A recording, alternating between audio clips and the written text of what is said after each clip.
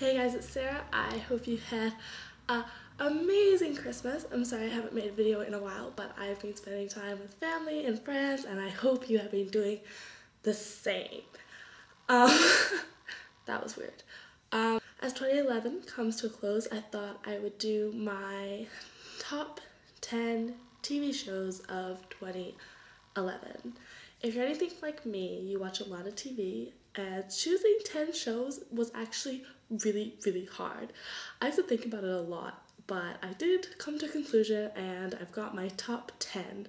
Bear in mind that this is just my opinion, these are just the shows that I like to watch. Um, and also, bear in mind that these are not my top 10 shows of all time, these are just shows that have been airing in 2011.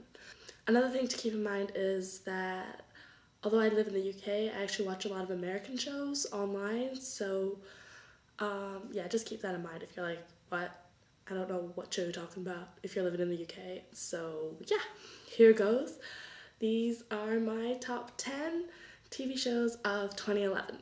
At number 10, I have Happy Endings. It's a new show. I think it's on its second season.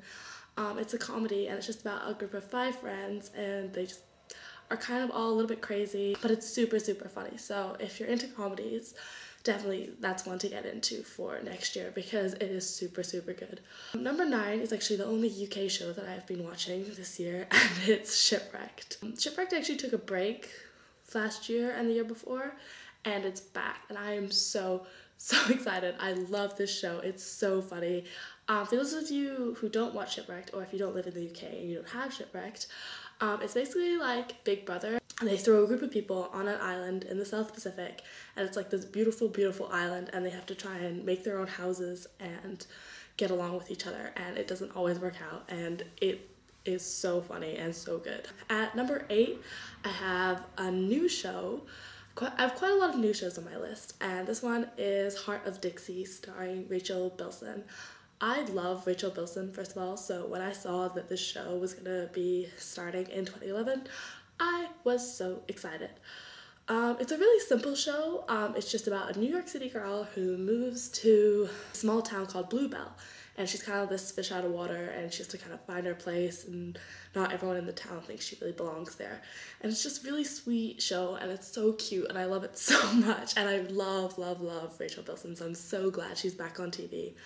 At number seven, I have a show that I have been loving, loving, loving. And if you're into Harry Potter, I think you'll be into this show. It's Once Upon a Time, and it's about um, fairy tales and how these fairy tales have all this curse has been put on them by the evil queen, and she's trapped them all in our world and taken away all their happy endings and there's one girl, Snow White's daughter, who has to kind of save them all, and it's really, really good. Um, I've been loving that show so much, and I cannot wait to see what happens next. At number six, I have a show that I think a lot of people have been watching. Um, it's another comedy, um, New Girl, starring Zooey Deschanel, and I think she's so funny, and it's such, such, such a good show. It's super funny. It's just about a girl who moves in with three guys and she basically is hilarious and a little bit crazy, but it's such a good show. At number five, I have a show that I've actually been watching for about four years now. It's on its fourth season. And yeah, I've been super, super loving this show. And that show is 90210. Um, if you don't watch 90210, what are you doing with your life? No, I'm just kidding, but it's super good. Love all the characters and yeah, I'm not really gonna go into explaining what Naruto is about because I feel like most people know, but yeah, I've been loving this season so much. Not its best season, definitely not its best season, but definitely a good season. Okay, at number four, I have The Secret Circle. Now, okay, just this is to all the Harry Potter fans who watch these videos because most of you are Harry Potter fans. You need to watch this show it's so so good. It it is it is about um, witches, and they have this circle of witches and kind of how they are all destined to be in this circle. It's a really really really really really good show. Um, I didn't know if I'd like it because I don't often like stuff about witches because all I think all I do is compare it to Harry Potter. But this is actually really different from Harry Potter and really good, and I've really, really, really, really been enjoying it. So yeah, definitely go watch The Secret Circle if you don't already. Um, my third favorite show of 2011 is The Vampire Diaries, another show I've been watching for a really long time, and another show that I know a lot of people watch and really, really get into.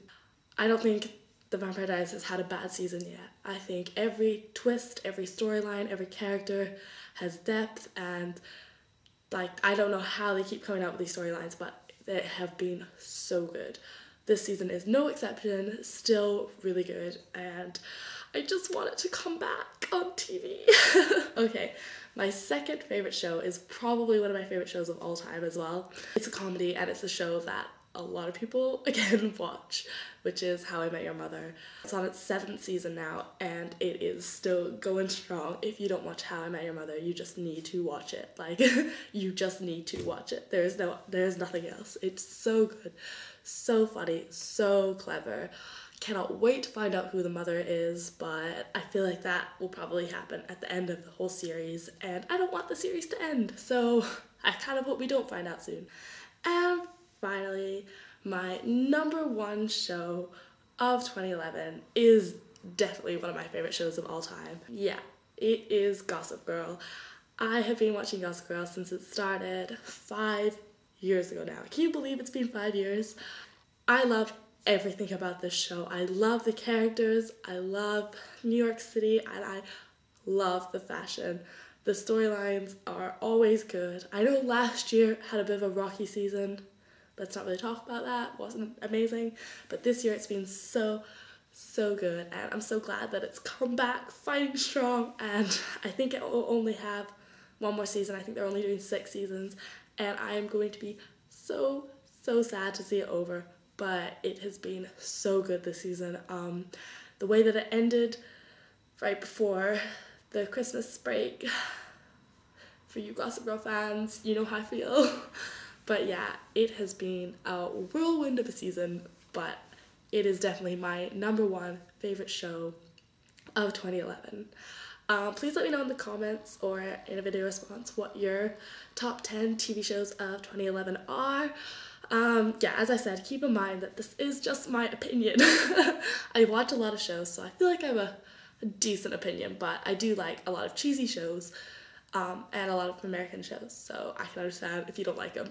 this is my 2011 shows, and I thought since 2011 is coming to an end, I needed to share with the world the best shows that started this year or that are continuing this year. Um, yeah, I probably won't make another video before the new year, so happy new year, and I'll see you guys in 2012. Bye.